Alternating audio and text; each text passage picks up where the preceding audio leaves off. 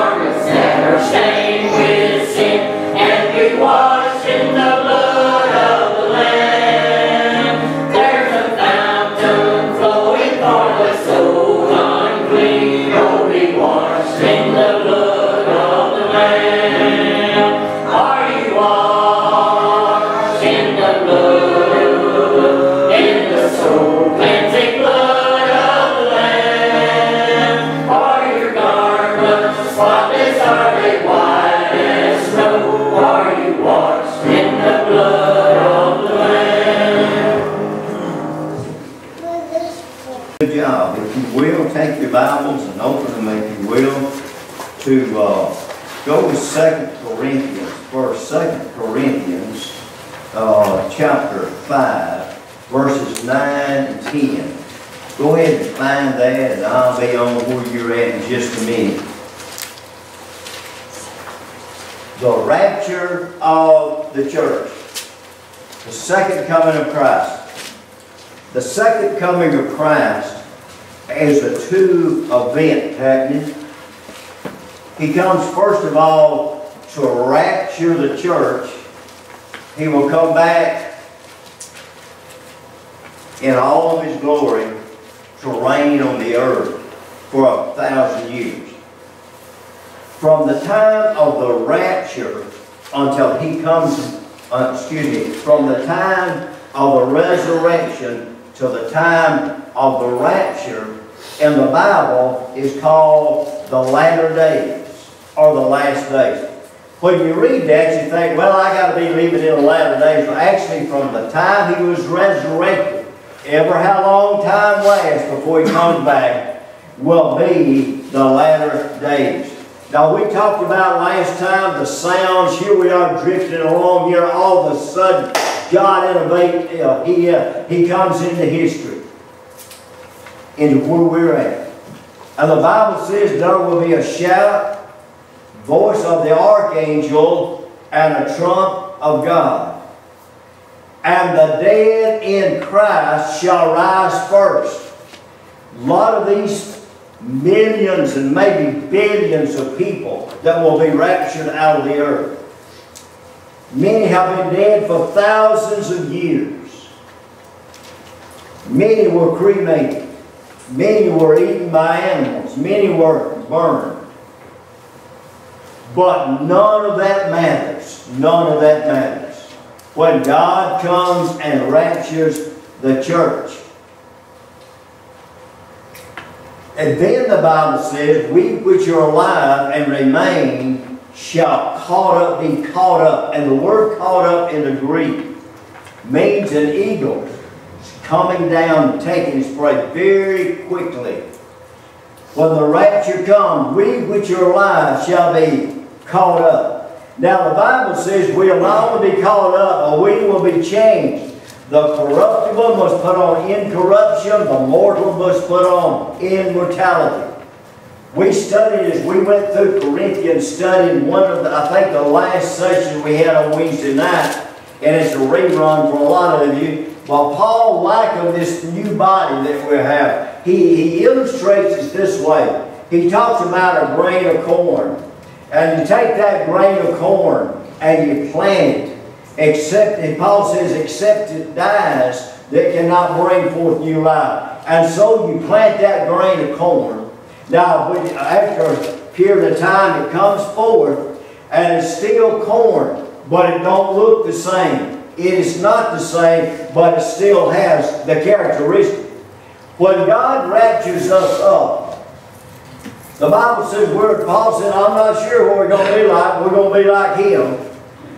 But regardless of what I look like or don't look like, I'm thinking we're going to bear the resemblance that we have now for my sake, I kind of hope that ain't true, but anyway, that's what I believe. But though we are different, though we may be different, we will be the personality we was on this earth. Y'all understand what I'm saying now? I'm still going to be me. I may be gorgeous George. I may be, uh, I may be ugly with But whatever I am, I'm still going to be me. The God is raptured up us from the earth so we can make personalities. Our personalities will be, will be the same. So when the Lord comes back, there's no announcement.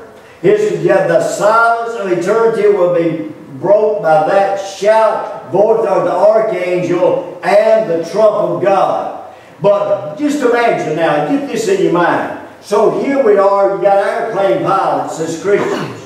You got taxi drivers as Christians. You got people all over the world that believe in the Lord Jesus Christ. They have confessed with their mouth the Lord Jesus, have believed in their heart that God has raised him from the dead. And the Bible says when you do that, thou shalt be saved. All of a sudden, zap, they're zapped out of the planes and the taxis and, and the equipment. Can you imagine the chaos that takes place after the rapture upon this earth? Remember now, everybody here is not being raptured. It's just those who, who are saved. But now today, I want to talk to you on the subject, what will happen in heaven after Jesus comes. After the rapture, what will happen in heaven? The Bible says that we're raptured up together. There won't be Baptist here, Methodist here, Presbyterian here. Everybody that's saved, regardless of their affiliation, regardless of their chain of thought, regardless of the theoretical thinking, if they know Jesus Christ as their Savior, they will be raptured up, the Bible says. So now here we are, we're moving into heaven or the place God has designed to have us when we're raptured up. Now then, I'm going to I'm going to read the first, Second Corinthians, uh, Second Corinthians chapter five. Oh, excuse me, Second Corinthians chapter five, verses one through five.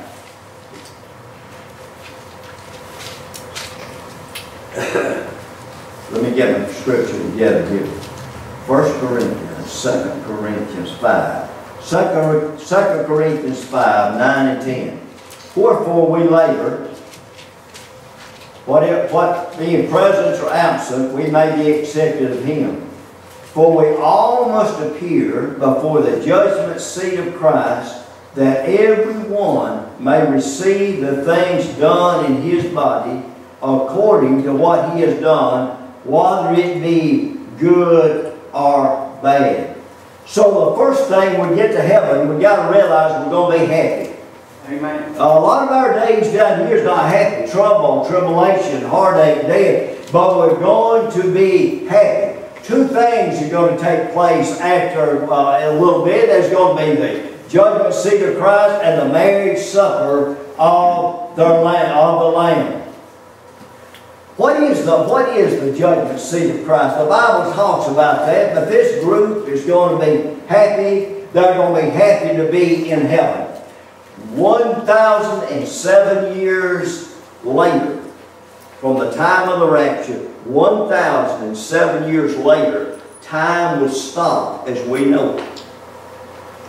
Eternity will begin to roll.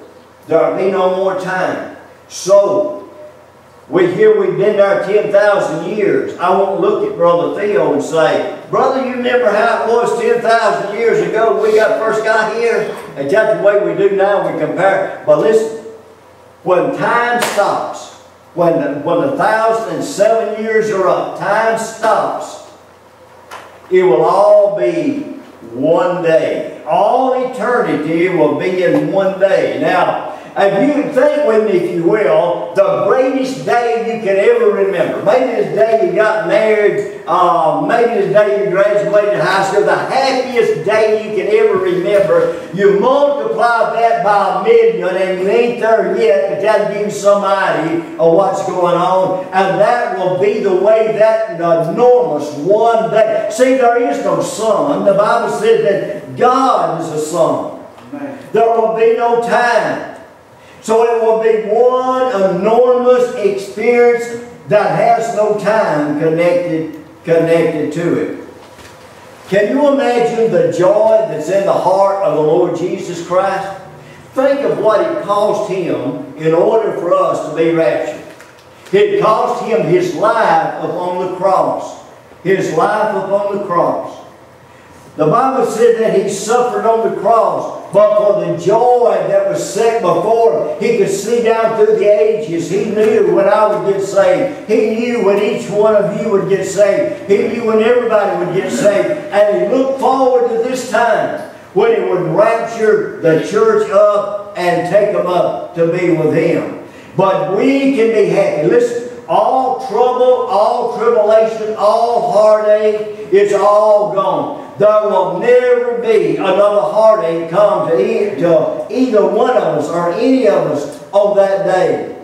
Faith was what took us there. It was not by works. It was not by church membership. It was not by baptism. It was not by affiliation. But it was by the blood of the Lord Jesus Christ, a shed on the cross, that paid the penalty for our sins and by my profession of faith in Him, I laid hold on my inheritance that I'm enjoying at the rapture of the church. Man, we got a lot to look forward to. The great multitude will move in. The great multitude will move in. Seven years. We will be there seven years. Two things will take place. First, there is the judgment seat of Christ. Then there is the marriage supper of the Lamb. So, first of all, there is the judgment seat of Christ. What is the judgment seat of Christ? Only saints of God, only sane people will be here. Only sane people will be raptured. Only sane people will stand before the judgment seat of Christ. See, you got a lot of folks that say, well, God's just going to gather everybody up, take everybody up there and say, you get over there, you get over there. If that was true, folks, we wouldn't know if we saved or not. We wouldn't be saved till we got there and found out. But the Bible, Paul says, I know in whom I believe. Amen. Brother, the devil can't make me doubt getting saved. I know I'm saved. I know I'm redeemed and ready to go when the Lord comes after me, whether it be through death or the rapture. Paul said, There is therefore no condemnation to them which are in Christ. Paul's been with the Lord 2,000 years. He'd have to wait uh, another thousand or ever how long it takes when the Lord comes back in righteous. He knew, he knew then that he was saved. In the two things he's got to happen at the judgment well actually three things at the judgment seat of Christ. Most people will die with unconfessed sins. Y'all hear what I'm saying there? Most people will die with unconfessed sins. When we confess our sins, the Bible says He is just and faithful to forgive us of our sins. And the Bible says He separates them from us as far as the east is from the west. He separates them and tosses them into the deepest sea and remembers no more. But that's the confessed sin. Now what about those sins that you have?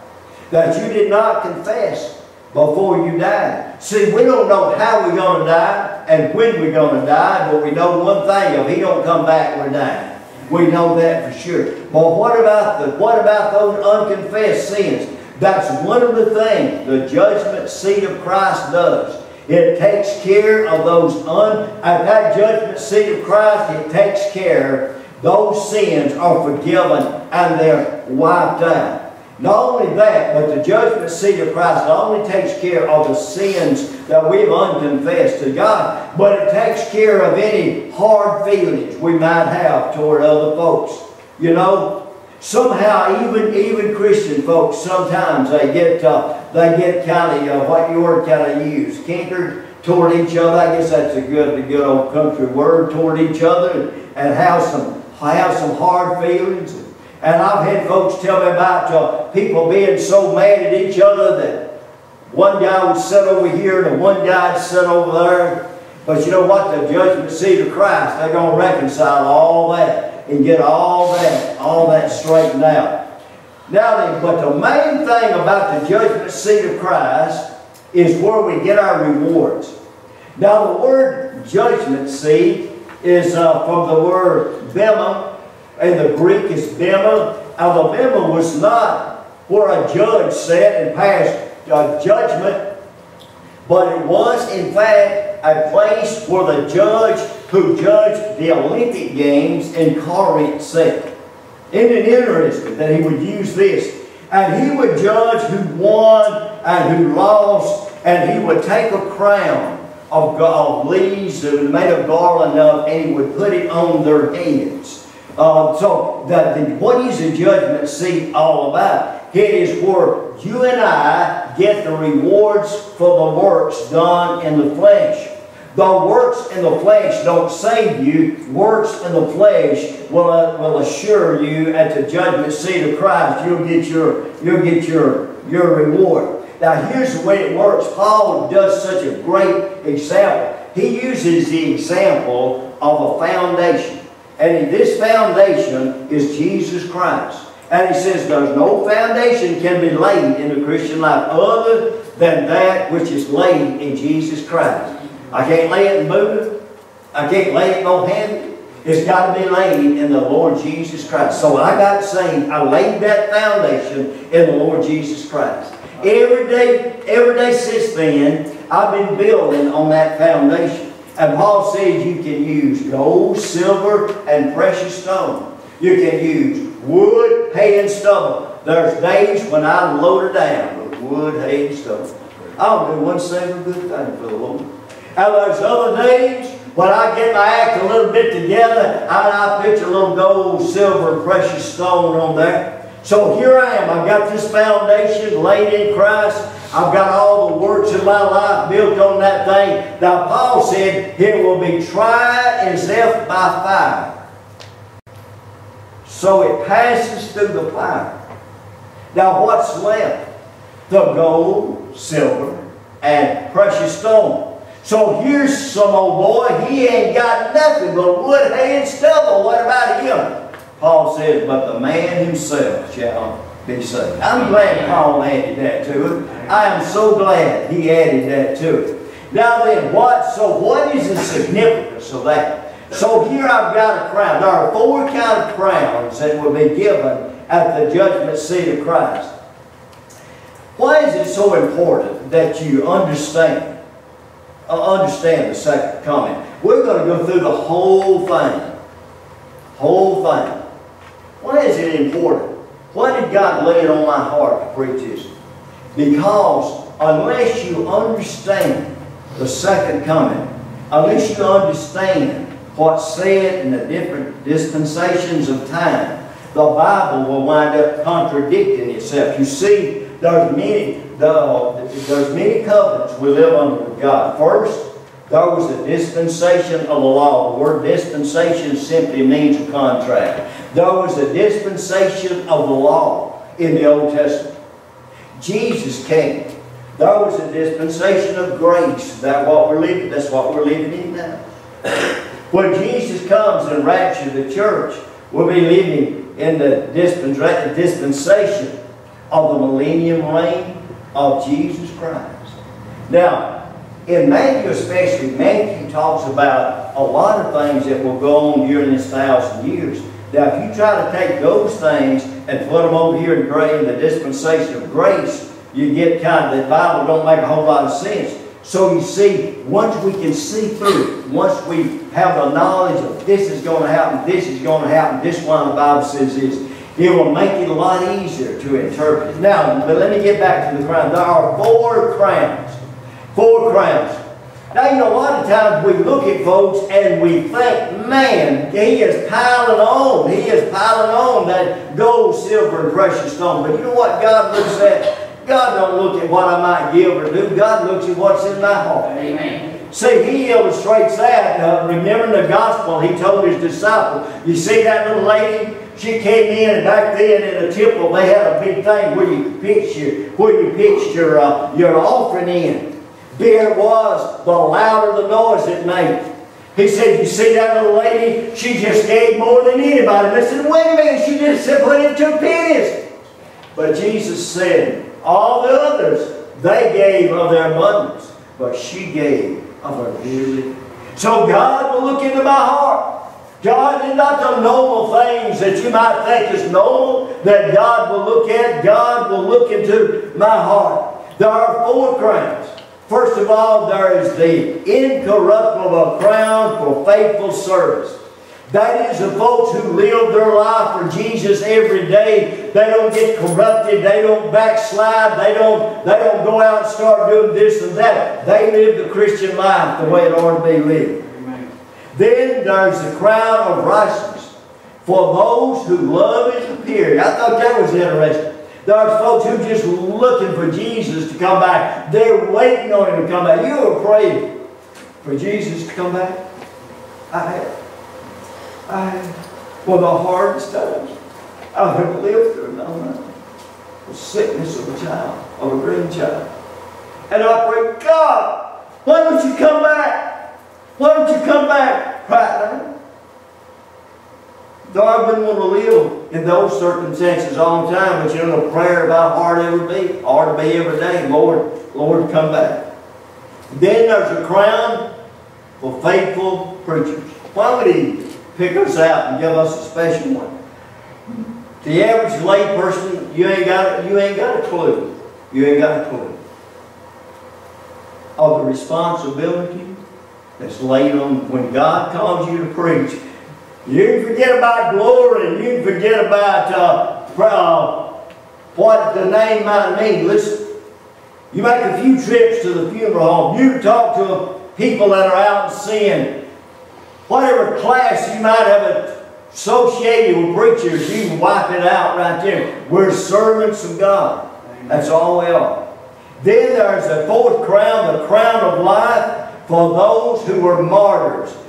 Martyrs, the martyrs of the church time, of the early church time, were those men. Some were beheaded. Some Nero poured tire on some, and he would lie when he would open up a new street in Rome. He would take Christians and put them on crosses and pour tire over them and set them on fire and light the street. Listen, Christianity has not come down no paved road. Christianity has got to me and you by the suffering of many, many, many people. In Paul's day, in Paul's day, there was given those who won the events a crown made out of garland leaves. Look beautiful the day you got it. Man, you could be so proud. You could walk down to the barber shop. You could walk down on the square. You could walk around the square. But your days was numbered. That thing's going to turn into a brush pile. And you're going to be laughed at. What Paul said, an incorruptible crown. Now, what is the significance of these crowns? What does that mean?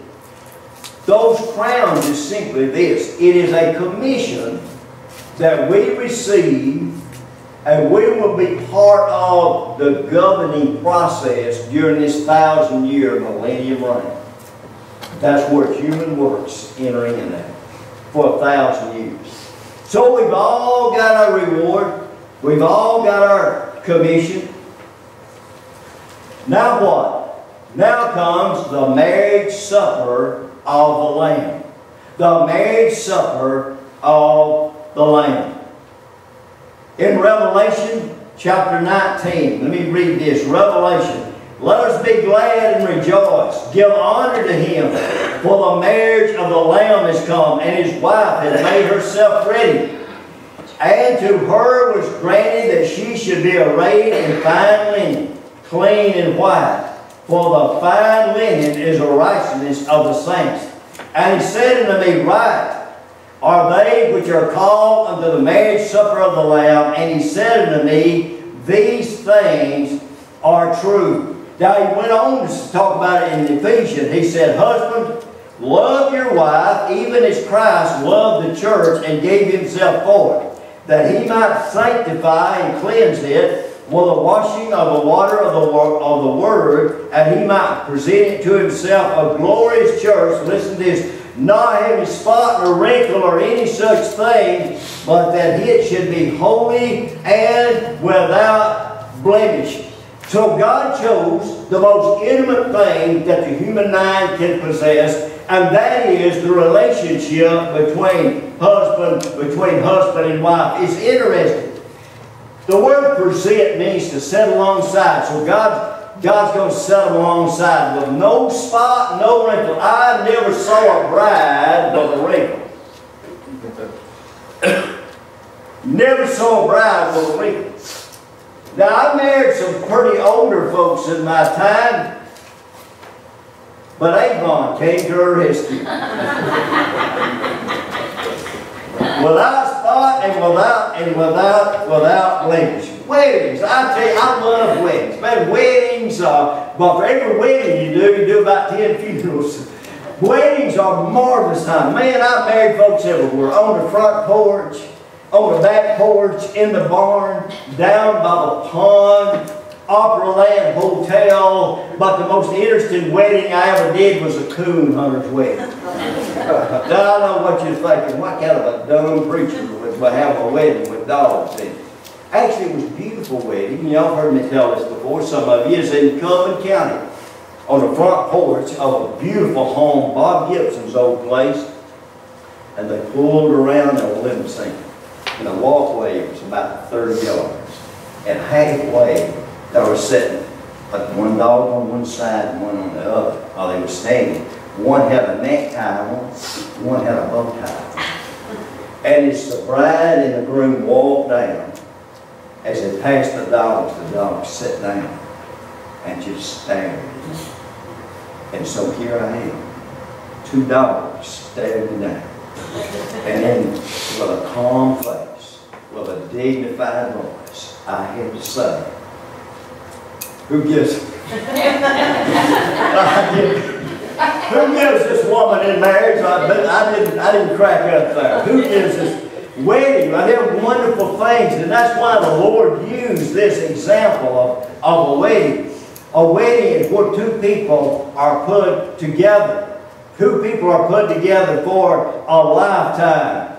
We shall have perfect harmony there. Can you imagine a bride and groom groom? It amazes me how bride and a groom acts. It amazes me the customs. The men and Mennonites, they have a custom. The boy and the girl sit at the corner of the table, and they take the boy and throw him over a fence. Now, I don't know what the practicality of that is, but you notice, I've noticed, when that, when that uh, bride and groom, after the wedding, they would look at nobody but the bride and groom. I mean, they would even hardly sign, sign the marriage license. Won't hardly take their eyes off each other till they sign the marriage license. Now they get over that in a while. Maybe they shouldn't get over it, but they do. But that wedding, that so much intensity, so much love, and what Jesus is saying is this: there is, there is love, there is love. We are God's people, so we've got our rewards. We've set with Christ at the wedding feast, and next Sunday we're going to talk about we're going to talk about what's going on down here. At least part of it during that seven years tribulation. The main thing in life is to be saved. Y'all agree with that? Amen. That's the main thing in life. That's the foundation you gotta lay first. How are we saved? By confessing Jesus Christ as our personal Savior and inviting Him into our heart. But you know, a lot of people don't get saved until something unusual happens. I heard a story about this. uh, You ever in the cemetery, they dug a deep hole to bury some stuff in, not people, but the flowers and so forth, and they let you uncover. And this drunk was telling this, and he said, I stumbled through that cemetery and fell in. He said, I trying to get out, I couldn't. He said, in a minute, somebody accidentally fell in. And I said to him, you can't get out of here. He said, but he did. That's the kind of way it is when you get saved, you have a rude awakening. Y'all, y'all went through that, a rude awakening, man. I mean, what I thought about when I was under conviction was hell. I didn't want to go to hell. Amen. Man, I want to go to heaven. And how to get there is through the blood of the Lord Jesus Christ. This morning, if you'd like to uh, make a profession of faith, join the church, I want you to come as we get ready. Yvonne and Dan, y'all will come and get ready. While y'all are getting ready, let's pray. Bless the Lord God, we thank you, Lord. Lord, you're so good to us and bless us in so, so, so many ways, God. Now, I pray, Lord, you bless this fine congregation. Lord, what a, what a, what a wonderful church, Lord. We thank you for it. God, I didn't have nothing to do with it. I don't think any individual would say they had a lot to do with it. But God, it's just by your mercy and your grace. God, give us patience to wait on you. God, give us grace to stay busy at the things you call us to do. Now, Lord, I ask, Lord, that you bless this invitation in Jesus' name. Amen. Amen.